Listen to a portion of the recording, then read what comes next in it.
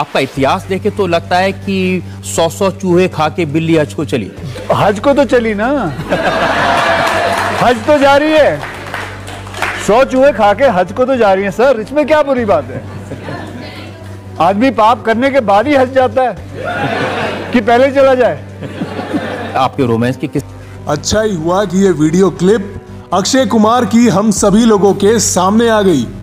इस क्लिप के बाद और भी बाकी वीडियोस को देख लेने के बाद, इस डबल ढोलकी की हिपोक्रेसी सबके सामने बुरे तरीके से एक्सपोज हो चुकी है कि ये जानते बूझते भी हर तरह का गलत काम कर देगा।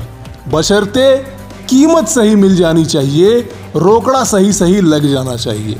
और अगर जनता ने आवाज़ उठाई तो फिर ये हज को निकल पड़ेगा। आई मीन सॉरी कह देगा और कुछ ऐसा ही तो इसने विमल के ऐड के बाद भी किया है। अपने इंस्टाग्राम पर एक माफ़ी नामा चिपका कर मैंने आप सभी लोगों को बताया था कि एक ऐसी ही गुटखा कंपनी ने अल्लू अर्जुन का दरवाज़ा भी खटखटाया था और सालाना आठ से दस करोड़ रुपए भी ऑफ़र किए थे कि आप हमारे गुटखा ब्रांड को प्रमोट कर दीजिए, जिस ऑफ़र को अल्लू अर्जुन ने बिना ज़्यादा कुछ सोचे समझे सिरे से ठुकरा दिया था।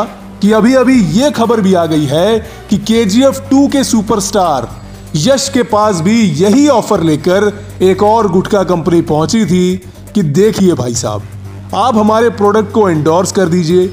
इसमें घबराने वाली कोई बात है ही नहीं।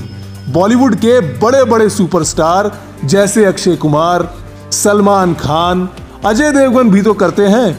उन्हें उनके मन मुताबिक माल पानी भी मिल जाता है। तो आप भी हाँ कर दीजिए। और सालाना आपके घर भी पैसों से लदा हुआ बैग पहुँचा दिया जाएगा। आप बस कीमत बोल दीजिए। आप जितना बोलोगे, हम लोग देने को तैयार ही तो बैठे हैं। आप बस एक बार हाँ बोल दीजिए।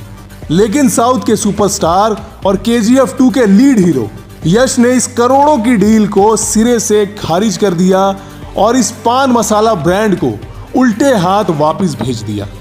बताइए, कितना मुश्किल था यह डिसीज़न?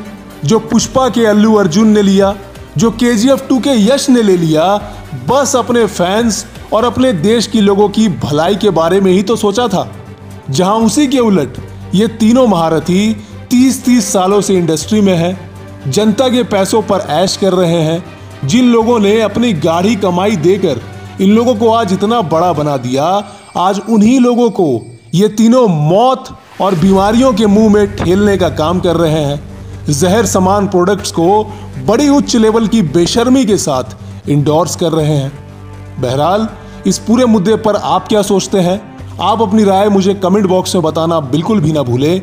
अगर आप अभी तक हमारे चैनल के साथ जुड़े हुए नहीं हैं तो जुड़ करके हमारी आवाज़ और बुलंद करें। मैं मिलता हूँ आप सभी से बहुत ही जल्द अगली वीडियो में और एक नए अपडेट के साथ।